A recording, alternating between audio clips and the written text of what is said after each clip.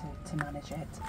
Um, and another um, mother not expecting to have a prison sentence, going to court and her child being left at school and no one to pick, up, pick her up.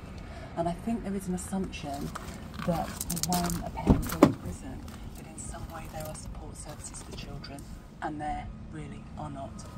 What would you say